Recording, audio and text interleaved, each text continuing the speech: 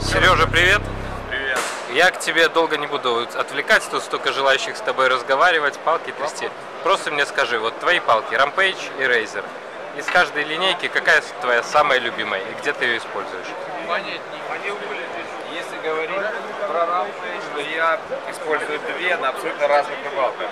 Так, 180 это на 14-футовой, это ситуация, когда мне нужно ловить больших карпов флотами на сверхдальнем выбросе. ага, настоящий. А на стандартных рыбалках просто хевики речные, когда мне нужно полить хевиком. Угу. 13-футовый до 150. Она просто универсальная и ну, позволяет делать очень широкий спектр разных процедур.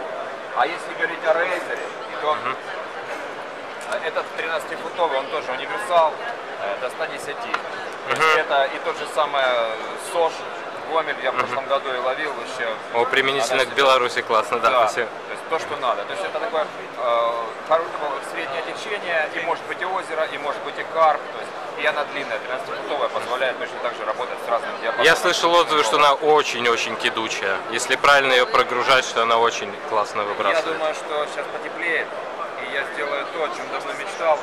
Сниму серию роликов, там, где я буду делать с этими удочками, то, что с ними. Ясно. Как бросать за 100 метров Да, да. фидерными удилищами кормушки. Понятно, Серега, спасибо. Все, не отвлекаю. Давай.